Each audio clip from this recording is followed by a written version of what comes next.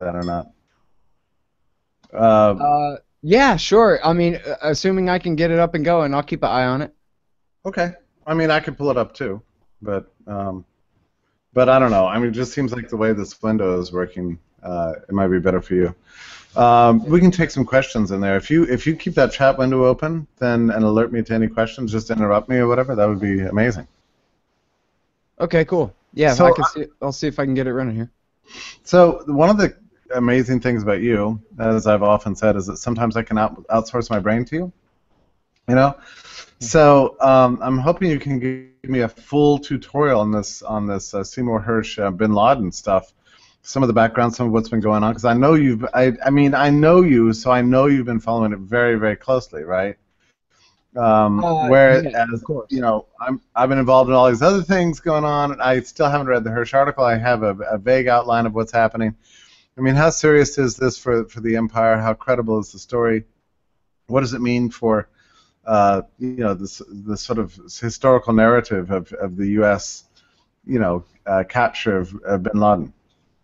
Well, so I think I want to start with that, and I'm still screwing around trying to get the chat room open here uh, while I'm Okay. talking to you. But I think I want to start with that. The reaction to Hersh. I mean, all you need to know is that there's the official story of the killing of Bin Laden, and Hersh has come out with this piece that says that it's virtually entirely a lie. That that's not how it happened at all. That he died there that day, but other than that, it's all a bunch of bunk. And then the reaction to that is like he, you know, said that the Virgin Mary was in fact not a virgin at all. Like, right? He had he had gone straight at the heart of the civic religion of the state. I mean, what is it good for anyway? Well, they did hunt down and kill that one guy finally, right? And so we can cheer USA for that. And I don't know where they got the the students to come out in front of the White House and chant USA for that, but they found them.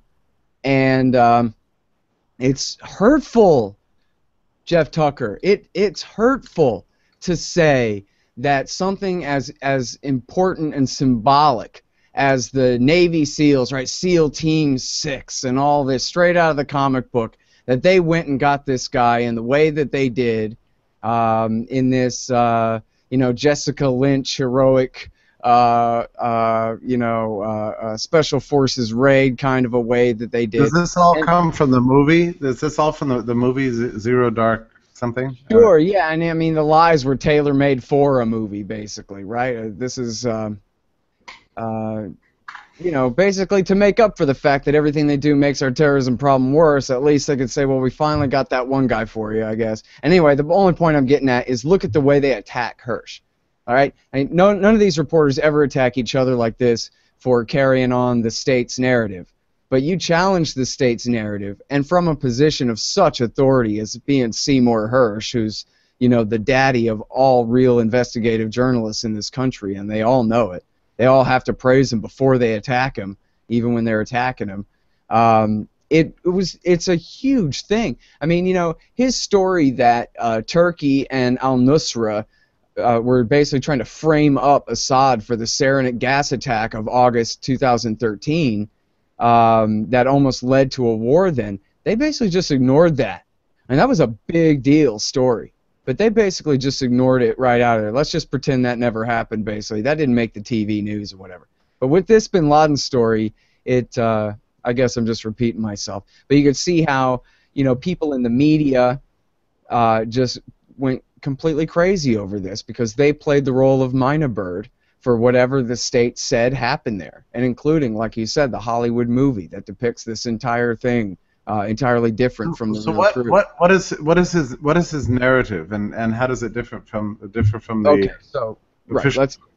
Okay, so uh, the official story is that the CIA brilliantly tortured a guy, and then that led to the name of a courier, and then they tracked a courier to this Bin Laden safe house in Abbottabad, and that uh, uh, the uh, the Americans basically just figured it out, deduced that he was there, and then knowing they couldn't trust the ISI that may or may not have been in on keeping him there, the ISI that's the Pakistani CIA basically, uh, they decided to send in the Special Forces SEAL Team 6 in two Black Hawk helicopters to raid the place and kill the guy. There was a big firefight. They shot a bunch of couriers and bodyguards and whatever. And then all the details, they even from the very beginning, they were raising and then dropping details as they were disproven and contradicted. But they said for a time he had hid behind his wife and that he had fired an AK-47 and all of this. So what Hersh says is that basically none of that's true. He was living there, but he was living there because ISI was keeping him there under house arrest and that one of their uh, top guys basically broke ranks and walked into the CIA and said, "I know where Bin Laden is. Give me the money and bring my my family to America, and I'll tell you where he is." And then he tipped them off, and that then uh, they worked. They basically called out the Saudis. I mean, pardon me, the Pakistanis, and said, "We know that you've been keeping him, and so now you're going to help us get him." And so then they went in and did the raid, but it was basically stage managed like the Jessica Lynch thing, where there was no opposition in sight. And the Pakistanis kept all the airplanes back and didn't do anything about the helicopters violating the air, their airspace, and kept all the local police and local firefighters and local whatever first responders and, and that kind of thing back from the scene during the raid. They went in there and they shot him and then instead of uh, dumping his body at sea, they actually the the the uh, seals themselves were, according to Hersh, kind of just joshing around and going, "Ha ha! Look at me! Oops! I accidentally threw his hand out the door. Hard for you to get a proper Islamic burial now, huh, chump?" Kind of thing, and that they were basically just desecrating his body through through bits and pieces of it out the door, and then there's a discrepancy here because he says in the article, or at least his copy editor, Final Draft, says in the article, the body was last seen with the CIA, and that the burial at sea on the Vinson never happened. The USS Vinson, Carl Vinson, never happened. Um, when I asked him about that, he said, "I didn't write that. I don't know what you're talking about. Now I gotta go." So oh, really? I don't know exactly. I guess, in fact, what he said was, no, it did go to the Vinson, but it didn't go into the water. What do you mean when you when you asked him about that? Did you have him on your show? Yeah, I had him on my show a week ago today. Oh, that's so incredibly cool. How did you uh, land that? I mean, you just wrote him? Well, yeah, I've kind of interviewed him off and on for the last ten years because oh, he was wow. really good on on the neocons and the Mujahideen Khalq and all this great stuff back, you know, in 2005. And the that's wife is friends cool. with him, and so, um, and now, so here's the thing too. Uh, his story is partially corroborated by um, uh, Carlotta Gall from the New York Times, who says that was her information too that she never published, uh, but that she believed that the Pakistanis were keeping him there basically under house arrest. Um, and then there's uh, another story that was published actually back in 2011 by a blogger named uh, Hillhouse, who had said that you know basically the same story. And then NBC News and the National in Pakistan also came out and said it was not the courier. Never mind that it was torturing a guy into naming a courier. That's talk about a bridge too far. That's completely made up. And they're saying no, it wasn't even a courier at all. It was uh, this walk-in from the Pakistani ISI. So that's partial cooperation. And, I mean, the whole um, story sounds sounds.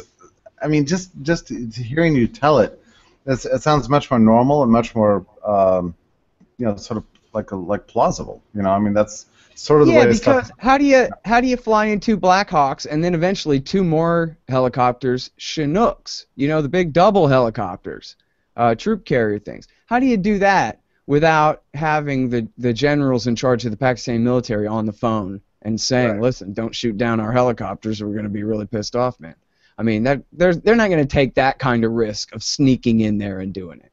And then, so Hersh says, you know, the Pakistanis had their own incentives for playing down their role. The Americans wanted to blame the Pakistanis, they didn't mind because they were double crossing the Saudis who'd been paying them to keep bin Laden, and uh, and they were double crossing Al Qaeda, who they were keeping bin Laden. That was part of Hersh's version anyway, was that they were basically saying to uh, Al Qaeda and the Pakistani Taliban, we've got your guy, so you better not cross too many of our lines or whatever because we'll kill him, kind of thing. And so since they had double crossed him to both the Saudis and the, the local Al Qaeda types, they decided they would go along with the American narrative that it was this big heroic mission and all of this. So apparently, and and so after he publishes the story, and I I, I read too about the New York Times reporter and, and several others saying, yeah, um, some version of that has sort of been on the street for a while, but but nobody published it uh, mm. until now. So that's very interesting to me that the people who are sort of paid to know things and paid to write things, and and their their life is is this world, you know, would have would have heard this story for a while. I mean, even for them, uh, the Seymour Hersh story was not a revelation, really. I mean, that right. that's that's kind of, I mean, that that's really interesting to me.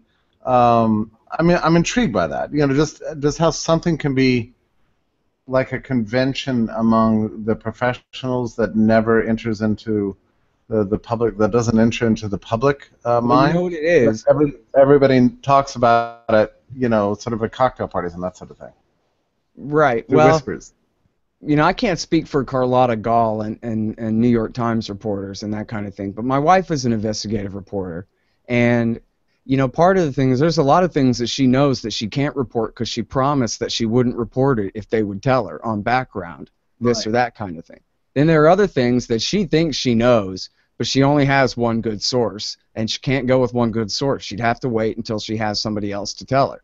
And she might even, you know, she has to second guess herself too. If she thinks she has, like, like for example, Carlotta Gall is saying, well, I think that okay, maybe I'm putting words in her mouth, but more or less she's saying, I didn't have enough to publish this myself, but I can help corroborate Hersh, right? Yeah. Well, the question is raised there. Maybe Hersh heard this from the same people as her. And so maybe right. she's actually not corroborating him. Maybe she's actually just doubling up on the same story. So it can be complicated, right? Yeah, and in yeah. fact, I'll go ahead and tell this story here because uh, what the hell, I don't care. I hope I don't get, you know, cause too much of a problem. I talked about it on the radio show. But my wife actually had this story uh, major parts of this story, Jeff, right after it happened in the spring of 2011. And I actually have the story that she submitted to Raw Story and that they rejected and didn't publish. And then right. for different reasons, she basically, you know, gave up on journalism at that point and didn't publish it anywhere. Yeah. Story it didn't have about the courier or the lack of courier, but it did have the part about uh, the Pakistanis were in on the raid and helped coordinate the raid with the Americans help uh, turn off the electricity in the town, and in fact even turn the lights off periodically for a month leading up to it, so that when the lights went off that night, it wouldn't be that alarming of a thing. Kept the local uh, uh, local police and first responders back, and then also, and I guess. Um, she didn't have this part of the story written yet. This was supposed to be part two, but she also had that the Saudis were paying protection money basically to the Pakistanis to keep them there, but that yeah, and, and well, oh, and first of all, that the Pakistanis, some at least factions of the ISI, were keeping him there. So I bring that up not to brag about her, but in context, I mean, yeah, I do get to brag about her that she actually had this story first, even though it's kind of silly to do so because it's not published. So I can't really brag about her having it because it's not a published story. But I tell you that to explain part of the problem of having editors and part of the problem of having anonymous sources and maybe not enough of them. Well, and then also, know, it, it, also does help, I think, to corroborate Hersh's story because uh, Larissa had it uh, what like three months before that blogger Hillhouse ever came out with. Well, it. there's there's also an element here, you know, when something when when a conventional narrative becomes sort of part of of a civic doctrine, you know um, you know, big time movie, everybody believes it. There's there's an element of uncertainty and fear associated with sort of contradicting that, you know. Um, yeah, yeah, I can I, I, I can tell you. Um, um, this is totally trivial example, but but I remember um, in the, the college I attended my, my senior year, the old main, uh, which is the main building on campus, uh, burned down, and uh, everybody immediately uh, suspected the president. Uh, but it was an insurance fraud case because the university was deeply in debt, and um, and everybody corroborated that story. I mean, like, like all the professors in the university believed it. Uh, it was always a whispering campaign, and basically everybody knows that that was true. You know, I mean, you know, basically everybody believed that he burned it down, and there there was every reason, there was a ton of evidence that, that he had. But what was amazing about this, um, and it, I mean this is going way back in, in my personal history, but the speculation to that effect never once appeared in any public venue. I mean, the, the local paper never editorial never said that this is the rumor on the street. There's never an article in the newspaper. It was never discussed on the radio.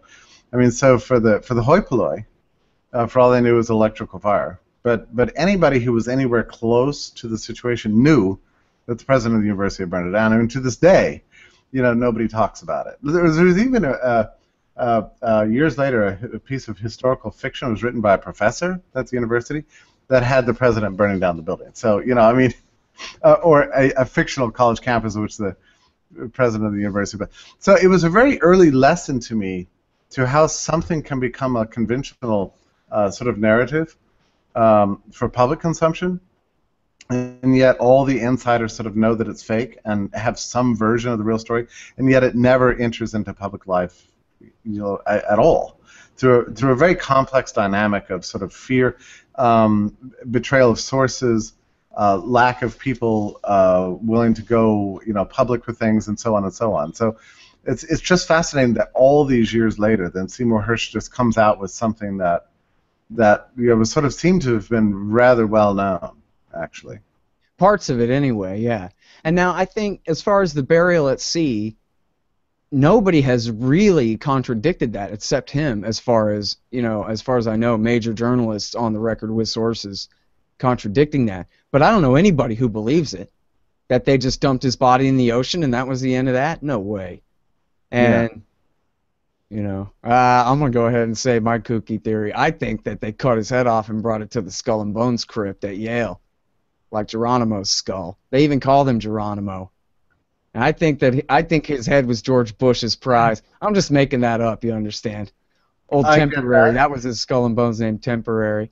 But you know, Bush had said, and this part is supposedly not disputed as far as I know, that Bush had told Cofer Black back in 2001, bring me his head in a box on dry ice.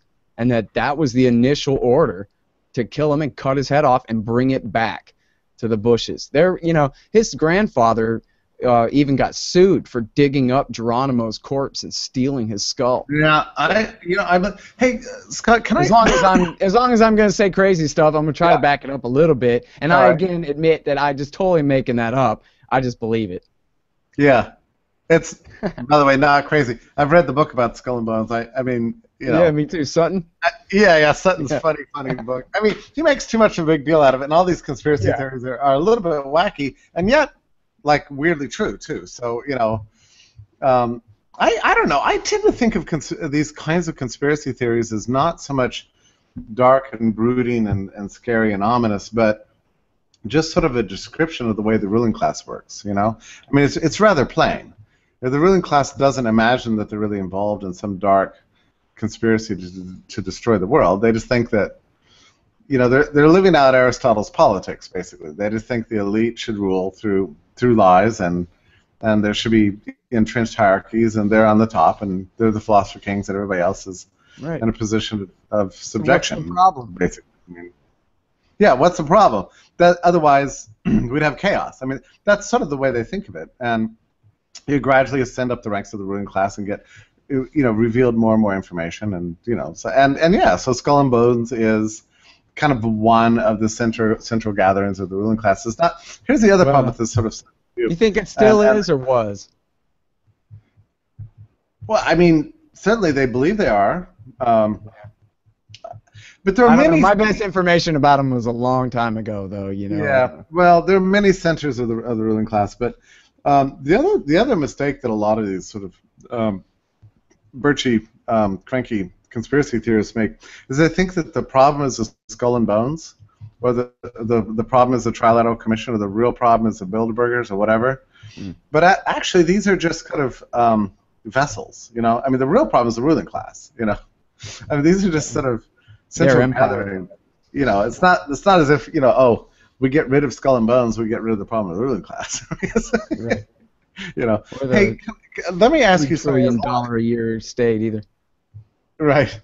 Well, let me ask you something. Um, as long as you're uh, willing to go out on a limb and, and um, talk about uh, crazy stuff, I wonder if you could give me your very frank and very well informed uh, opinion, if you're willing, on on Bin Laden's uh, personal culpability in the events of 9/11? I think he did it. What do you mean he did it? What does that actually mean? Well, so he inherited the the group from Afghanistan that was the Azzam group. Abdul Azzam was the leader of the group, and he was killed, and Bin Laden took it over. And he merged his group with Egyptian Islamic Jihad, which was Ayman al-Zawahiri, the doctor's group.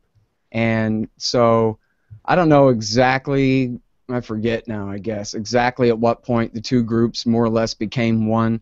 But the group that started off in America attacking, they, they assassinated Rabbi uh, Kahane. Do you remember him? The Yeah. right wing nationalist, really a fascist uh, Israeli rabbi. They assassinated him in 1989.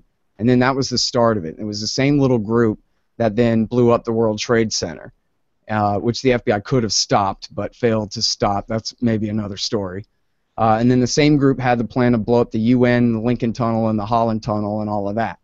Um, and then supposedly bin Laden's name first surfaces in counterterrorism around then that he was donating to the defense fund for these guys in the Lincoln and Holland Tunnel and UN plot. And then later they prosecuted uh, Yousef, the bomber, for the World Trade Center. Anyway, so that's when his name first starts surfacing as you know financing all of this. But then in 1996, he issued this fatwa, and he did interviews with CNN, uh, with Peter Arnett and Peter Bergen, and then later with John Miller of ABC News and uh, a couple of others. And he explained that basically you guys are the target because you guys are behind everything that we're fighting against. And so shortly after that was the attack on the Khobar Towers um, in Saudi Arabia, which killed 19 American airmen.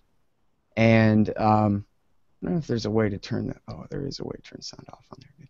Um, and then uh, they blew up the embassies in Dar es Salaam, Tanzania, and Nairobi, Kenya, in uh, 1998. And then they they did uh, an attempted attack on a battleship that failed because the dinghy sank. Uh, but then they did blow up the Cole in the year 2000, although they failed at their LAX plot because a border patrol agent at the Canadian border uh, near Vancouver got lucky and just said, "Boy, you're it's pretty cold out here, and you're sweating, Arab guy. You want to open your trunk for me, there, buddy?" And looked in his trunk, and there was explosives and a map to LAX and all this stuff. So that got busted. And so, you know, in other words, like these guys are a real movement. They'd been around. They'd been attacking the United States for a long time, and it was the same uh, meeting actually in Malaysia where they planned the Cole attack that they planned the 9/11 attack, or at least you know not down to every nitty gritty or whatever, but that was the big part of the Malaysia you meeting. think, you think that uh, Bin Laden was actually involved in selecting uh, the guys who flew the planes, and he had you know complete uh, I think partially because there's video of two. Uh, there's video of the lead hijacker Mohammed Atta and his buddy Ramzi bin Al Shibh in Afghanistan with Bin Laden.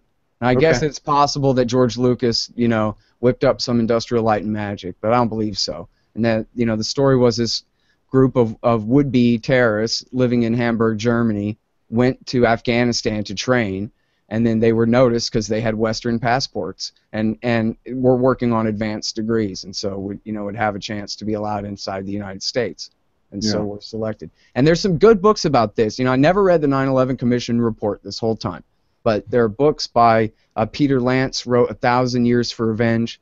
There's uh, uh, James Bamford wrote A Pretext for War and The Shadow Factory, uh, both with impeccable sourcing. Uh, leading up to that, there's uh, uh, Perfect Soldiers by Terry McDermott, the biography of the Hamburg cell of the hijackers. And yeah, now there's huge scandal and huge cover up in the fact that the CIA did not tell the FBI about real ass Al Qaeda in the country who did the attack. And in fact, for that matter, um, I don't know this again because I never read it myself, but my understanding is the letters NSA don't even appear in the 9/11 Commission report, and that's Hmm. only because if they told the, the the truth about it, it would be you know there would have to be trials because of the amount of data, uh, you know, very important stuff on Al Qaeda that the NSA was not sharing with the CIA or the FBI. and you think All I these mean guys hate each other, you know. So I mean, there's there's huge scandal in that. And in fact, here's one more scandal that uh, that I think you know kind of all the silly stuff obscures, and that is that Rudy Giuliani put the emergency command center at Building Seven at World Trade at the World Trade Center, the most obvious terrorist target in America that had already been attacked with a truck bomb, and everyone, every professional tried to stop him and tried to get him to put it at Brooklyn or Queens or somewhere far away, and he said, "No, I want to be able to walk there from my office." Yeah. So he put the damn command center right there. Well, so what are the consequences of that? The consequences of that are all the dead firefighters, because you can hear the audio from the police helicopters saying, "Whoa, man, the top is all moving around and creaking and is, you know, unstable. Everybody out, all NYPD out of the building right now. It's coming down." Well, there was nobody at the emergency command center, which had been evacuated, to turn around and tell that to the firefighters who were on a different frequency because Rudy Giuliani was forced to go parade around in the street like a hero when he was actually what parading around doing nothing and uh, unable to to uh, coordinate the information that the police in their helicopter had above with the firefighters inside the building. Uh, Yeah. Which cost them time that many of them could have used to get out of the building. So that's a major scandal, right? Like that's the kind of thing where all things being equal, Giuliani's head would have rolled over that but instead everybody's running around chasing every kind of ridiculous conspiracy about it. And you know what? I'll say this for the conspiracy stuff. And I should have said this in the first place, I guess. I suspect that the uh, Saudi intelligence agency or agencies were, you know, working to make sure this thing was successful. And I think uh, I give it at least some kind of double-digit chance that Dick Cheney and the Republicans had an understanding with the Saudis that we're going to do this, we're going to let the the first attack through so that we can get on with it and that kind of thing. Um, Yeah. but it- I can't prove that, and mostly I can't because all the good information is buried under a bunch of nonsense. So now I've made myself an enemy of every 9/11 truther, but that's my Well, you know these. Uh, you know, it's funny. I, I I bumped into there's there's a group of 9 9/11 truthers in uh, in Atlanta, I believe. I, I think they they exist in every in every town. Um, and you know they're they're nice people. They're they're they actually have sort of a passion for, for justice, and they they they want to know the truth. Uh, and I, I actually think that everybody, even the leadership, the intellectual leadership of the 9/11 truth movement, is deeply sincere. You know, um, um, so I, I don't know enough, enough about it, and and but I see, you know, what happens is if there's enough incomplete information, people get carried away and start weaving, you know, wild wild tales when really the the truth is, is usually one of incompetence. Um, and misinformation and miscommunication, and to some extent, some moral culpability for failure to share intelligence. That's more or less the story of Pearl Harbor, for example. You know. Yeah, and you know, I'll tell you, my my very favorite 9/11 truther is a guy named Ray Nowaleski, and I'm sorry, I'm sure I'm saying his name wrong. It's one of them Polish names, but it's something like Nowaleski. And uh, in fact, he's friends with the wife, and and she helped produce. Uh, for those not familiar, my wife Larissa Alexandrovna uh, was an investigative reporter for many years for RawStory.com, mostly in the Bush years. Um, but anyway, uh, so she helped make the documentary 9/11 Press for Truth which is the story of the Jersey girls who pushed to get the 9/11 Commission investigation and all that. Well, Ray Nowaleski was one of the guys who worked on that. Well, then he went further and he did sequels to Press for Truth, and I think they're just called the Rich Blee podcasts, Podcast One and Podcast Two, and one of them is video, the other is audio, but um, I mean, they get really way down into the nitty gritty of just how much the CIA knew and just what they they confront Richard Clarke, the White House head of counterterrorism, with what they can prove George Tenet knew and when. And Mm. Richard Clarke is basically, you know, upset and is saying, "Hey, look, there's nothing I can tell you other than he lied to me, the the director of Central Intelligence. He lied to me. We'd be up at three o'clock in the morning talking about Al Qaeda on the phone all night long, and he never told me he had three real ass Al Qaeda in the country all along that I needed to know about, you know, and this kind of thing. And um, it's really worth watching. And Rich Blee is the name of the guy who was I forget if I don't know if he was the head at that point or at some point. I think at that point he was the head of the CIA's Bin Laden unit because Michael Scheuer had been banished to the library uh, be, for getting mad at Sandy Berger for thwarting every attempt to kill Bin Laden back in the 90s. And so Scheuer was banished to the library. Civil servants never get fired; they just have to go sit in the library. And uh, and uh, and uh, so it was this guy, Rich Blee, was was part of the. That's why it's called that, Rich Blee, B L E E. And I highly recommend that stuff to everybody. And anyway, but I had a talk with Nowosielski one time, and I asked him, uh, you know, please just break it down, cut through all the fog. I'm tired of all the fog. Just what really, why in the world, get to the nitty gritty. Why didn't the CIA tell the FBI about these CIA, the the uh, Al Qaeda guys in the country, so that the FBI could stop them? And what he his he said his Occam's razor best explanation is that the CIA panicked because they should have told the FBI all about the Malaysia meeting, and they didn't. And mm. now I forget in the timeline. Maybe the Malaysia meeting came later, but it involved some of the guys from the Cole.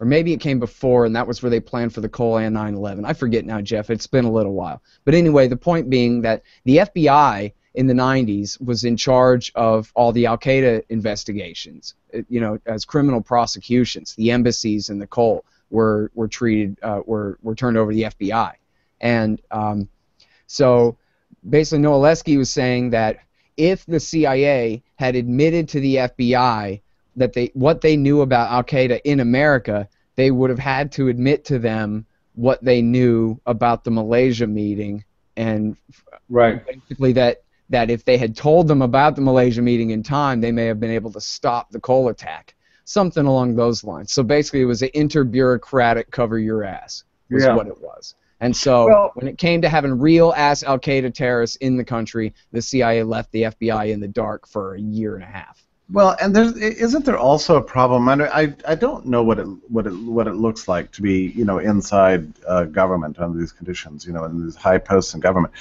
But um, I mean, isn't it the case that like every single day there's just a massive flurry of information coming at you? Some credible, some not. You know, the the you know you don't you don't know what's actually a threat and, and what's just a rumor. What what seems to be just like a run-of-the-mill daily problem and what actually amounts to something uh, serious. It becomes very obvious after the fact. You know, like what you should have known and what you should have shared and what you should have done.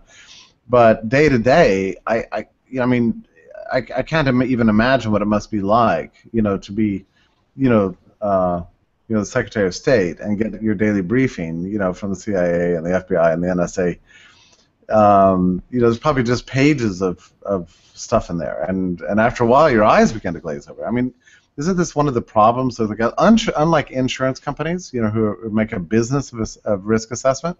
Mm-hmm. Uh, the state, it's just just a kind of a constant stream of of, of, of data coming at you all the time. And I would I would think it would be very difficult to separate the the real threats from just you know the usual nonsense.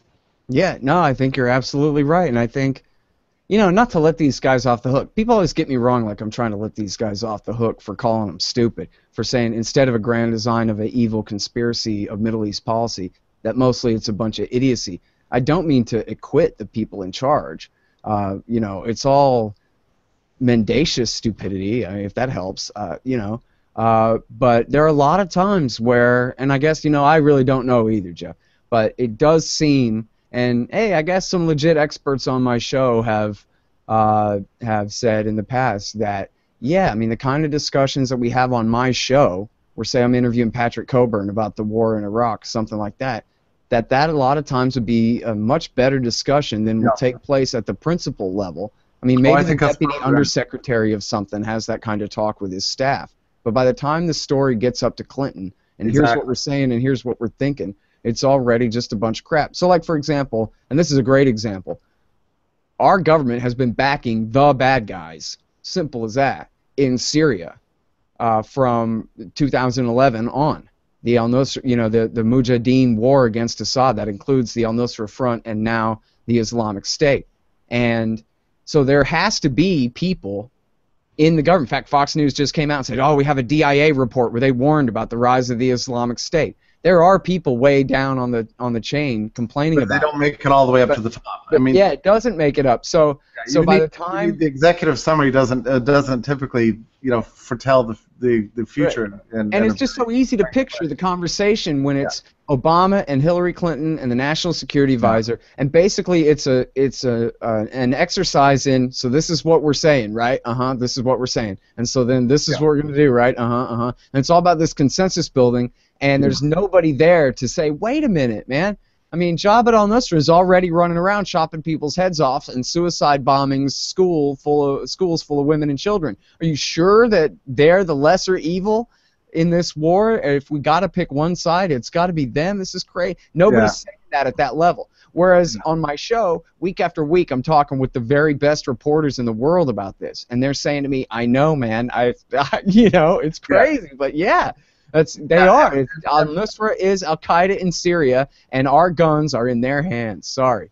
And Yeah. part of the problem is that the state doesn't have, uh, you know, sort of sort of ownership over its job in providing security. I mean, it's it's it's a job that that they're assigned through sort of civic responsibility, but it's not one that's really tied to any kind of um, profitability metric or uh, scientific approach so they can choose to take whatever whatever information they want to, act on whatever they want to, they disregard whatever they want to, and there's there's really no way that they have, uh, you know, as I say, unlike an insurance company, you know, or something like that.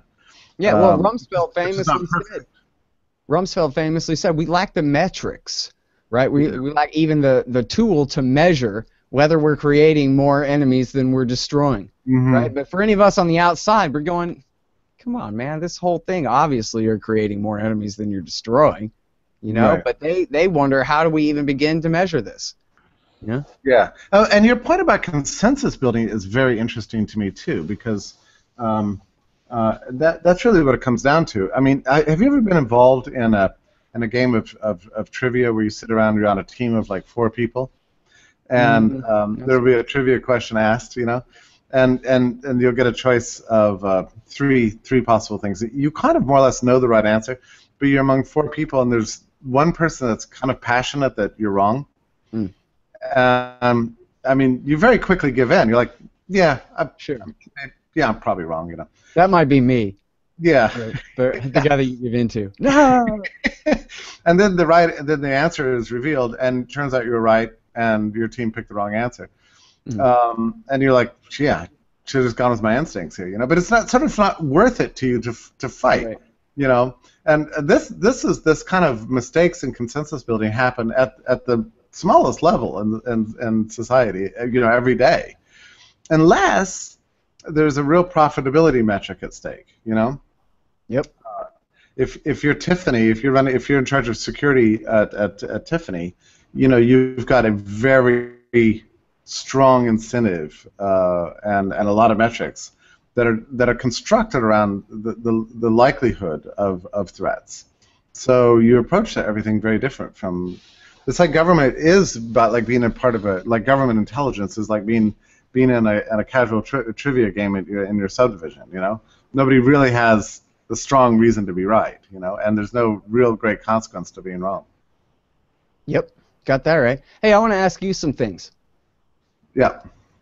Uh, my understanding is that every war in the 20th century, well, every major war, I won't count every time they invaded and massacred a bunch of people in Latin America, but uh, every major war in the 20th century, excluding Korea, the Federal Reserve blew up a gigantic bubble of artificial prosperity to cover the cost of the war and to disguise the consequences uh, when they came later. And I wonder whether uh, you know uh, much about that as Yeah, far it- as I mean, of course, it, it all began in, in World War One, and the studies of this actually came out like right after the war, because you know, as you know, uh, the entire uh, Western world looked back at World War One and said that was the stupidest thing that's ever happened. You know, h- how did it happen? Where did it come from, and what can we do to prevent it again? I mean, there's a tremendous amount of war revisionism. Like immediately after the war ended, like holy shit, you know, we were building this beautiful world in the late 19th century and we decided to blow it up. you know, at tremendous cost and not much benefit. You know, how did this happen? So uh, immediately the economists got to um, start, uh, and and uh, I think his name was William Anderson uh, was one of the first uh, studies that came out on this. That basically demonstrated that the entire thing was was made possible through the central banks. You know, that you had reckless politicians that were that uh, suddenly, for the first time in history, you know, all faced a kind of unlimited funding uh, that they could do the war or not, but it wouldn't going to cost them in terms of tax revenue. They could just um, go into deep debt and fund the debt through through uh, through the central bank, and it was this egregious kind of moral hazard that was created as a result of central banking. I don't believe that the U.S. would have ever entered into World War One it not for the creation of the Federal Reserve. Um, so that was a result. I mean, that was a, that's directly connected, and it's true, of course, even in the case of um, uh, Russia's involvement in that war. That if it weren't for the Russian central bank, that it never would have engaged in this protracted struggle and draft with Germany and created a hyperinflation, and therefore inspired the revolution that created Soviet communism. I mean, like everything sort of flows out of the central bank. I mean, it's it's like the original sin in many ways of the 20th century. Mm-hmm. I mean, much worse than anything else that ever happened. And it certainly happened in World War II, and Vietnam was made possible through this way, and and even in modern times, uh, you know, Iraq, um, and God, I mean, the 2008 financial crisis is directly traceable to Federal Reserve policy following 9/11. Mm-hmm. Well, know? you know, Reagan's Reagan's arms buildup and Bill Clinton's expansion of the empire after, you know, it should have been the peace dividend time. Both of those seem like you know the same kind of thing at play too. Uh, uh, what was after, the first thing you said about Ronald Reagan's uh, build-up, but I mean that was much earlier, right? I mean you're talking yeah, about well, that was, after the Cold I mean, Right. So I forget when did they kick Volcker out of there? It was like '83 or '84. They yeah. finally lowered interest rates. Yeah. And started building so up the next very. Yeah, it's a very interesting thing because because you know, of course, we went off the gold standard in, in 1974 and unleashed this this hell, right? So Nixon suddenly is using price and wage controls. We suddenly had inflation plus a recession, you know, creating you know, stagflation, so-called, which wasn't supposed to happen under Keynesian theory. Uh, everything got worse and worse throughout the 1970s. We had the Great Malaise, you know, and then and then we had the actual serious inflation by American standards, you know, double digit, which which you know, looted American savings and, and just caused so many disasters.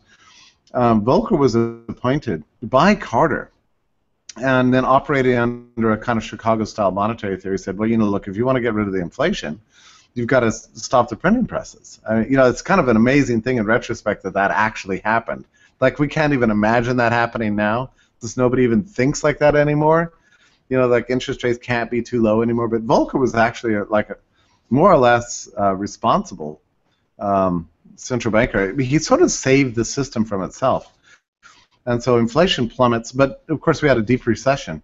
And we had a real correction. So Reagan becomes president. It's, it's fascinating at the time because um, his, his position was we have to allow the recession to play itself out. We have to get all this malinvestment washed out of the system. We have to get all these bad investments, you know, gone um, all the distortions in the economic structure that are created as a result of uh, central bad bad central bank policy have to allow themselves to wash themselves out. And once that happens, we'll be on the road to recovery. You know, all good, all very good instincts, right? but um, it didn't last long. So as soon as that period was over, and it happened very quickly, you know, I think by 1983 the recession was um, uh, we were on onward to a growth path, and things were looking really impressive. Um, yeah, as the Reagan administration used the newfound stability, prosperity, and cleared markets, you know, um, and the capital that the central bank had uh, permitted to be uh, built up over the last over the previous three years of recession, two years of recession, to embark on yes a massive inflationary monetary policy that was just pure military Keynesianism. Yeah. And uh, missiles. And, yeah, and that's what fueled you know the, the so-called prosperity of the of the of the of the 19, 1980s. Mm-hmm. So yeah, I mean like that was really kind of undercut the imperative to give the American people their peace dividend after the end of the Cold War when well, and that Bill was, that bubble was, came in. That was one of the most egregious times in my life, right? I mean, uh, Scott, it was such a shock because I had been raised in the Cold War, and I more or less believed. Like I disagreed with it, but I thought that the reason why we had to put sort of liberty on hold and had to first of all cutting the budget and, and having a balanced budget and having sound economic policies was because of the Soviet threat. Like like I, I kind of disagreed with that, but I thought that was the actual thinking, you know. So when the Soviet Union just like like practically overnight just like vanishes, and all these governments are collapsing all over Eastern Europe, and the and the 40-year uh, Cold War just suddenly just like evaporates, uh, you know, from the planet. Um, it seemed like an an absolute no-brainer. Now is the time. You dramatically cut the, the, the, the military budget, as happened after World War II, actually, and um, return the return the money to, to the American people. And and you know what was funny about that was that the right the right wing, uh, the Republican Party, wasn't really hip to this idea at all. In fact, there was a a great deal of um, hysteria at the time, like, oh, the, the threats are still out there. In fact, they're, they're worse than ever. You know, uh, there's new threats emerging. We can't let up on peace through strength and so on. The, the people who were most uh, making the most sense at the time were people like Jesse Jackson. Actually, you know, there was a big movement on the left, as you said, for for the peace dividend. Now they didn't imagine it would come in the form of tax cuts. What they wanted to do was convert military spending to kind of domestic welfare and stuff like that which in a sense would have been actually a better policy. You know, whatever's wrong with domestic welfare, it's less destructive you know, than than um, endless military buildup. But what was amazing about that whole thing, I mean, in retrospect, it's just astounding to think of how the ruling class just kind of like, like, like doubled down, you know, yeah, and just go to Iraq. Yeah, and just push through, and and figured, look, we'll find another threat, we'll we'll find another war, we'll invent another ruse. Uh, the American people are stupid; they'll forget.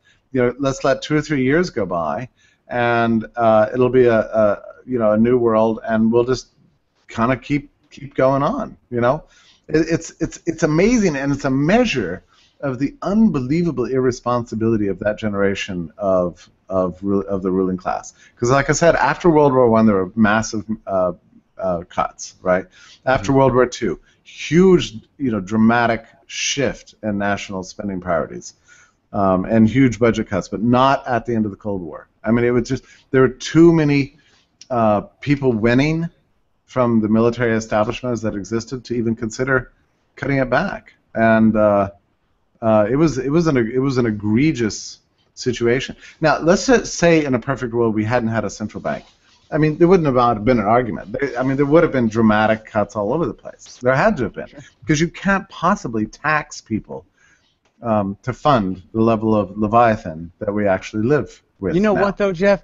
How do you get? And it's funny because this has been my thing since I started on radio in 1998. Was if only I can get all of America to understand about the relationship between central banking and war, and yet, what an obscure thing. I mean, for the it's, Ron Paulians and the and the hardcore libertarians, we understand. But how do you get the American people to understand that? Listen, if they had to raise your taxes, you'd kill them with pitchforks. So instead, they print the money, and you spend all your time in the unemployment line eight years later, wondering why your life sucks, and that's your cost of the war. And so, what? Hate central banking with us now or something? I don't get. What do we do? How do we get people to get it? Yeah, I, I don't I don't even think there's much hope for that actually. I mean, like Ron, you know, was he engaged in a kind of a you know a really wonderful campaign to to push this, you know, and uh, the book in the Fed, you know, just hammered the point, you know, over and over again, you know, from the first page to the last, that there's this relationship between the loss of liberty and central banking. But I don't know. I mean, it's like it's like this. It's like you said, it's a little too complicated.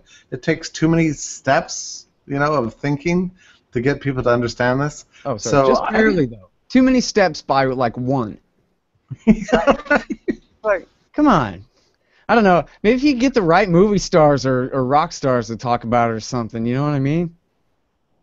I don't know. You know, and this is why I think the that crash is the correction. Like, someone make a lyric out of that. Yeah. Well, you know, F.A. Hayek dealt with this whole problem in his own life. If you read his denationalization of money monograph in 1974, it's it's really a fascinating uh, kind of study of a uh, you know, just an extraordinarily brilliant man who had spent his, I mean, like an astonishingly amazing thinker, who had spent his entire life trying to alert people and on, uh, you know, in the UK, you know, and continental Europe, and later in the U.S. about the dangers of, of central banking and the urgency for monetary reform. So 1974 comes along. He's already got the Nobel Prize. He's like, well, to hell with it. I'm just going to tell the truth. And um, his conclusion was that reform uh, it just can't happen because the ruling class is too wedded to an inflationary monetary policy, and so long as that exists, to his mind, there's no essentially no practical hope for freedom at all. So that's when he first concocted this idea of a of a of a ground up, uh, sort of a, a, a bottom up um, monetary reform where people just start using a better, more advanced form of currency. Mm-hmm. Um, he imagined it would initially be uh, uh, issued by banks, and he he talks about this. I mean, it's very interesting. He has like what I would consider to be an entrepreneurial plan. I mean, he has he has banks issuing their own currency, and he thinks that people would start accepting it in the event of a monetary crisis because it performs much better and it's much more reliable than national currencies, and that eventually this private currencies will outcompete uh, failed government currencies, and we get a, a, monetary reform by default, not top down because the ruling class doesn't want it, you know, but but bottom up because people want a sound money in their own uh, financial interest. So anyway, I tell that story because um, this is why I'm so hopeful about cryptocurrency. You know, um, you know, Bitcoin was only invented six years ago, and it's like everybody's sitting around going, "Oh, well, where's the magic?" You know, well, how come how come uh, your brilliant uh, uh, Bitcoin hasn't overthrown the nation state yet. Well, the, all I can say is these things take time. Yeah. And we're and, working on it. Yeah, we're working on it. And and you know the other thing is that we haven't really had a monetary crisis uh, since 2008. I mean, Bitcoin was invented in uh, you know the Genesis block came out in 2009, but you know you can see what's happening to Bitcoin in Argentina today. I mean, there's a great story that came out in the Wall Street Journal, which I think was or maybe it's the New York Times, but it's an excerpt from a new book on the history of Bitcoin um, that has swept the country. I mean, everything's you know cars from cars and houses. I began to see this two years ago. Cars and houses and savings and everything is kept in Bitcoin has become a real national currency, an alternative. Um, well, if that same kind of situation happens in the U.S., we could see a flight into cryptocurrency like we've never seen before, and we could get our monetary. All I'm saying is that I see. Here's the thing it's like there's more hope today for this dream of a private currency than we've had in a hundred years. That doesn't mean it's it's guaranteed to happen, or it's going to happen next week, you know. But we have a greater degree of hope now than we've had in a hundred years of bad monetary policy. So at least now we have an option, uh, should the time come where we need to use it. Right. Yeah, no, and and there's a lot of people around the world. Uh, well, everybody's got some kind of crappy paper currency to deal with, so there's going to be crises here and there. And yeah, I just think it's extremely significant. You know, I, I think it's, uh, it's something like the invention of cryptocurrency. It's just plus it's a global currency. It's private. It's not managed by central banks. It's utterly transparent. You know, it's it's run by a protocol instead of by a bunch of politically appointed uh, criminals, um, and you know, bloviators or whatever. Um, I think it's extremely significant. I mean, to me, it's like if you think about what did the invention of email mean for the post office over the long term? You know, initially people said, "Well, I'll never replace the post office." Now everybody just laughs at the post. I mean, I go to my mail every day. You know, and mostly what I get is you know just junk mail. In fact, by my mailbox, there's a huge trash bin that's yeah. entirely full of, uh, of trash you know flyers are basically subsidized by, by the government for the corporate class to send you junk mail. You know that's yep. that's what the mails are used for. You know, um, uh, and so you know it, but it took time uh, for this to to happen. So if you think about cryptocurrency and its relationship to national currency, I like to think about you know our communication technologies we have now, instant messaging and SMS and you know this Google Hangouts whatever, relative to the only way we had to communicate in the old days, which was through uh, the government. I think it's I think it's actually much more significant because when you're talking about money, you're not just talking about one service or one sector. It's not like shoes or or, or vegetables or something like that. It's half of every single economic transaction, you know. So to to invent a new form is is really uh, I, I think a, a real hinge of history. Um, and I don't know if that means it's necessarily a Bitcoin, but but I think we have a greater hope now for monetary reform than ever before. As for political reform of, the, of central banking, I just I don't believe it. I don't believe it'll ever happen. Yeah, no, I mean, you just have periodic crises. I guess they could completely destroy the currency, but then they'd just be replaced by a different central bank, is all. But you know, isn't it? But uh, there is something interesting about all this because we, we talked about about um, Volcker and the, the Reagan the early Reagan years. You know, the fact that we had something like a political culture that would have tolerated um, a, sh- a shutdown of the inflation machine and a, and and a culture that, that, that tolerated allowing the recession to happen. You know, as if everybody understood, yeah, we, we made a lot of mistakes in the past, and now we're to have to suffer for a little while so we can get on a sound growth path. I mean, that's not a complicated story, it seems to me, but it's a story that, that, that nobody has told in this country for mm. uh, since that time. I mean, it's been like 30 years since since uh, any national politicians told the truth about about uh, about economic life and the business cycle and the central bank. I mean, wh- why is the truth so completely banned these days? I mean, after well, 2008, it would have been so easy say something like, "Look, we overinflated the economy. Now we're going to have to go through a recession." But nobody was willing to say this. Like, "Oh my God, recession! You know, let's just." Um, th- but surely there's some lever somewhere here in Washington where we can make this thing go away, and we're going to well, do it like. like they didn't just paint themselves into a corner, right? They paint themselves to the edge of a cliff where mm-hmm. if they raise interest like interest rates like Volcker did back then, right. then just the interest on the national debt every year would be enough to break the entire national government. It would be catastrophic. Budget. And so just yeah. just game over. All they can do is just keep adding zeros to the denominator basically and just keep printing dollars. Yeah. on yeah. until, you know, the apocalypse. Well, you know, I'm, I'm running an article funded by central banking too. I'm, I'm running an article tomorrow on the Foundation of Economic uh, uh, Foundation of Economic Education website by by Robert Murphy, in which you know decisively proves, I think, mm-hmm. that all the economic policies since 2008 and nine uh, have been like a complete flop. Uh, I mean, it's it's like been a devastating refutation of Keynesianism. Mm. You know, even by Paul Krugman standards, it's it's been a, a disaster. And yet, people still look at it and go, "Oh, that wasn't that great." You know, I mean, Krugman's still out there defending everything. You know, it's we live in times that's that's in the same way we we're unable to face reality about U.S. foreign policy. It's the same thing with domestic policy. It's like it's like we live in a new age of faith. You know, where we just we just have to believe the state you know, is wonderful and glorious and doing the right thing all the time and has no bad effects whatsoever. Mm-hmm. I don't know. And then it's, it's, throw the bums out every eight or four years if necessary to keep the illusion going and switch off, you know, which half of the country is more or less satisfied and which half is more or less angry for a little while and then switch back again. And it works perfectly. And you know, the thing with the boom and the bust, it's the perfect illusion for a regular person who's not thinking hard about it and is just kind of living their life and looking at it.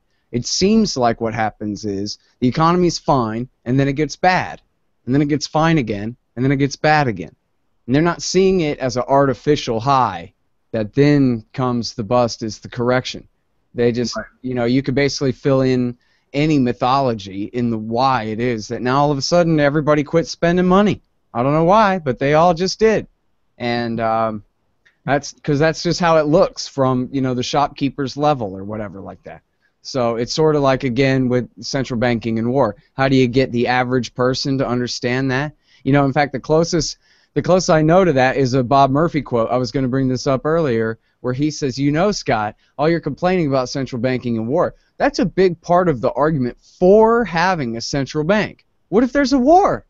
We can't have a gold standard. What if we want to kill a bunch of people and so and that's expensive and so we'll have to inflate for that, right? Yeah. And that's the only where that's the only place where you can get to kind of conventional wisdom on the issue is the people who that's why they favor it, so that we can have war all the time. You know, as, how to get people to oppose it for those reasons is beyond me. I don't know. Yeah. There's a lot of reasons for war. I tonight before before we, we talked, I was reading uh, Aristotle's Politics. I don't know if you've ever had a chance to read it. It's it's a very interesting sort of urtext of of the the Western political um, vision in a way. I mean, it's as as egregious as it is brilliant. You know, so you know it's it's it's uh, you know obviously his pro-slavery stuff is is is well known, but but his you know, presumption of the complete absence of individual rights is fascinating. I mean, reading a text like this makes you really grateful for the Enlightenment in many ways. And and there's other brilliant things in it, like he's he's got a great attack on, on Plato's collectivism, you know, which you know you're sort of grateful for in a way. But he has various um, points about war in there, and uh, essentially he loves war. I mean, he thinks war is just just wonderful and inevitable, and he sees war as the tool for becoming rich. That the purpose of war is is acquisition of wealth, and the only, to Aristotle's mind, the only real uh, meritorious or, or uh, viable way to gain more wealth for yourself is to be a member of the ruling class, go to war, and grab it from somebody else. That's how you become wealthy, and that's and that's in his mind. He also thinks that war is very good for uh, for uh, bringing out of the human personality, particularly men, um, uh, this this great meritorious desire to rule, and to exercise courage, and to be you know to, and, to, and to reveal commanding virtues in the human personality. So. I mean, you have this sort of systematic, you know. Sounds defense. like Bill Kristol in the Weekly Standard. It does. It really National does. National greatness conservatism. Exactly. That's build exactly a dam together. It's amazing. It's straight from straight from Aristotle to the neoconservatives today. I mean, it's just, it's just one long line, bypassing the Enlightenment entirely. You know, so reading a book like Aristotle's Politics makes you love the liberal revolution, you know, of uh, you know of the 16th, 17th, 18th centuries, and then finally the the great age of laissez-faire, the 19th century, because we discovered the great truth that we don't need all this crap in order to have a good life. We can actually have, you know, freedom. We can make money through peace and trade, and there can be a universal, universal dignity uh, for all human beings. I mean, that is like a, a beautiful and radical vision. It's so different uh, than anything you read in the ancient world or anything you read from modern status. Well, that's going on my pile of books I better read someday, I guess. It's you know you can see it back there. It's, it's your eyes pop out, and you know it's what's funny about it is that it's extremely erudite. Uh, you don't feel like you're you know reading some weird ancient guy or whatever. Oh, he really sounds like like a pundit on Fox News. Hey, listen. Here's here's where I want to. Uh, oh no, I screwed up. Let me see here. Oh man, I didn't mean to click, but I clicked. Here we go. Uh, here's how I want to end the show uh, today, Jeff. Uh, uh, a, a, comment from Tom in the chat room. I don't know. I guess you don't have your chat room open here, but a uh, no. comment from Tom in the chat room. Uh, he says, "I went to Iraq in 07 and Afghan in 11. We pretty much just protected a warlord's drugs for him. Certainly helped open my eyes to what is going on. The warlord is now dead. Suicide bomber. Live by the sword, as they say." He writes. So this is the American Empire, as he says here, uh, helped open my eyes to what is going on. That's the face of the empire right there. Join up, serve your country, the few, the proud. Now stand there and protect this poppy field, right? And then what would be the opposite of that would be go ahead and kill this guy and all of his village because you know the competition poppy dealer doesn't like him anymore and we're going to call it the virtuous war on drugs right like that's going to be as close as you get to uh, to being on the side of right, occupying Afghanistan right there. That's the reality of the empire. And you know, poor Tom, uh, you know, had to learn the hard way and live through it. Thank goodness he's back here safe and sound, apparently. But uh, you know, the the rest of the guys, the hundreds and hundreds of Americans, a thousand, more than a, a thousand Americans who've died over there in Afghanistan, they were on the same mission as him, more or less. That's basically the face of it. Imagine giving up your child to go and fight in a war that they sell you as some kind of honor and glory and value and defense of America and its freedom and all of this. And then he dies standing around guarding a poppy field. You know, when we all want to legalize opium for medical purposes anyway, man, what are we you talking about? You know, this, what, why would it even be uh, uh, prohibited?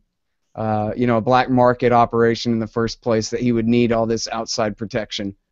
Uh, you know, only because we make it that way in the first place. I'm off on the tangent, but you understand.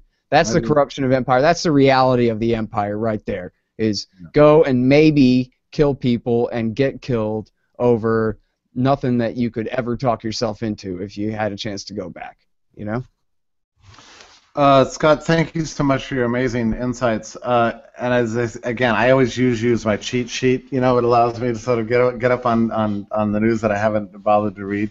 So thank thank you for your amazing insight and for your show, Scott Horton Show. Anybody can get it by through googling, right? Yeah, ScottHorton.org. Yeah, ScottHorton.org. And I'm from Liberty.me. Uh, if you haven't signed up, do it Hey, now. I am too. Yeah, you're Friend me on there. Yeah, absolutely. Um, I work for the Foundation for Economic Education also, fee.org. That's where I'm posting all the time. And I hope to see you, Scott, in the very near future, and thank you again. Thank you, Jeff. Okay, all the best, sir. See ya. Bye-bye. Bye, everybody.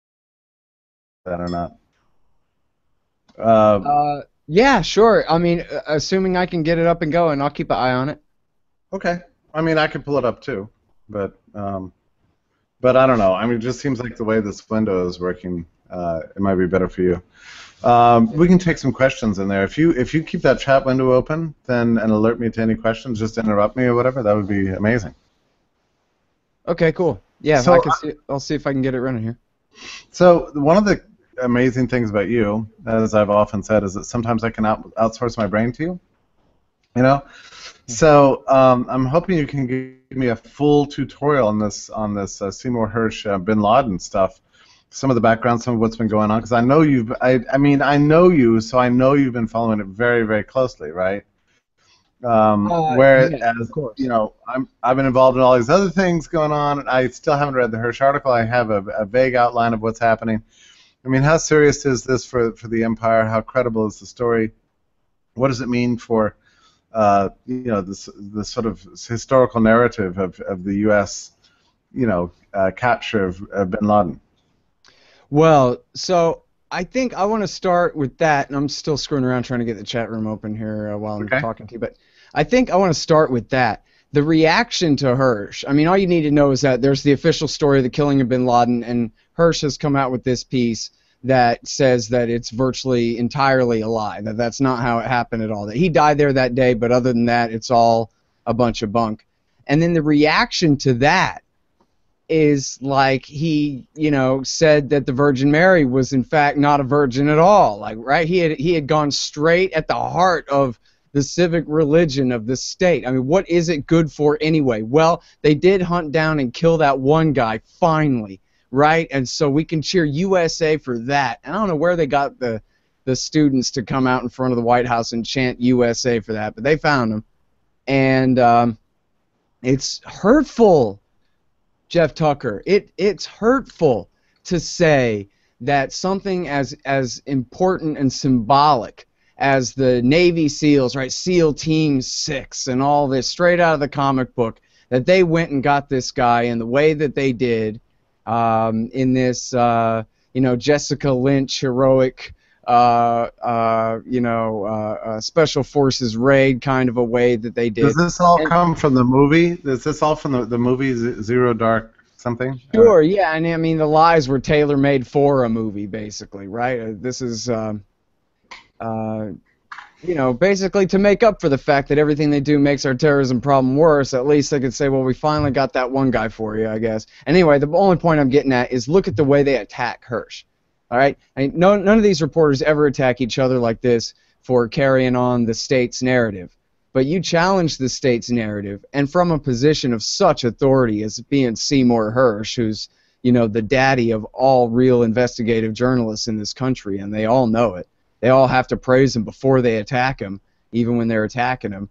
Um, it, it was it's a huge thing. I mean you know his story that uh, turkey and al-nusra uh, were basically trying to frame up Assad for the sarin gas attack of August 2013 um, that almost led to a war then, they basically just ignored that. And that was a big deal story. But they basically just ignored it right out of there. Let's just pretend that never happened, basically. That didn't make the TV news or whatever.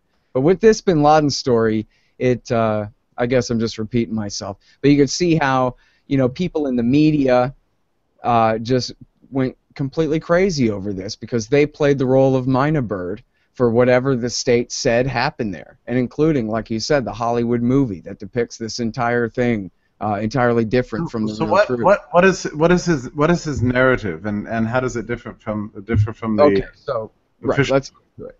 Okay, so uh, the official story is that the CIA brilliantly tortured a guy, and then that led to the name of a courier, and then they tracked a courier to this Bin Laden safe house in Abbottabad, and that uh, uh, the uh, the Americans basically just figured it out, deduced that he was there, and then knowing they couldn't trust the ISI that may or may not have been in on keeping him there, the ISI that's the Pakistani CIA basically, uh, they decided to send in the Special Forces SEAL Team 6 in two Black Hawk helicopters to raid the place and kill the guy. There was a big firefight. They shot a bunch of couriers and bodyguards and whatever. And then all the details, they even from the very beginning, they were raising and then dropping details as they were disproven and contradicted. But they said for a time he had hid behind his wife and that he had fired an AK-47 and all of this.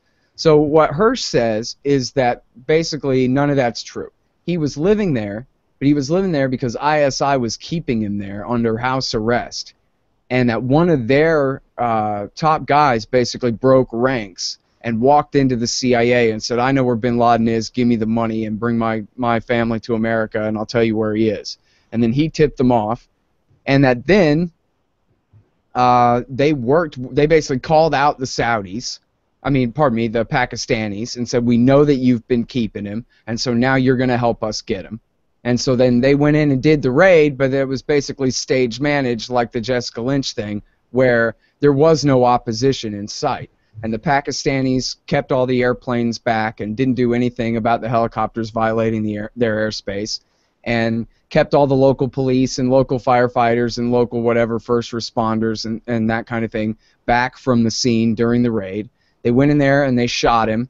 And then instead of uh, dumping his body at sea, they actually the the the uh, seals themselves were, according to Hersh, kind of just joshing around and going, "Ha ha! Look at me! Oops! I accidentally threw his hand out the door. Hard for you to get a proper Islamic burial now, huh, chump?" Kind of thing. And that they were basically just desecrating his body through through bits and pieces of it out the door, and then there's a discrepancy here because he says in the article, or at least his copy editor, Final Draft, says in the article, the body was last seen with the CIA, and that the burial at sea on the Vinson never happened. The USS Vinson, Carl Vinson, never happened. Um, when I asked him about that, he said, "I didn't write that. I don't know what you're talking about. Now I gotta go." So Oh, I don't know exactly. I guess, in fact, what he said was, no, it did go to the Vinson, but it didn't go into the water. What do you mean when you when you asked him about that? Did you have him on your show? Yeah, I had him on my show a week ago today. Oh, that's so incredibly cool. How did you uh, land that? I mean, you just wrote him. Well, yeah, I've kind of interviewed him off and on for the last 10 years. Because Oh, he was wow. really good on, on the neocons and the Mujahideen Khalq and all this great stuff back, you know, in 2005. And the That's wife is so friends cool. with him. And so, um, and now, so here's the thing, too. Uh, his story is partially corroborated by um, uh, Carlotta Gall from the New York Times, who says that was her information, too, that she never published, uh, but that she believed that the Pakistanis were keeping him there basically under house arrest.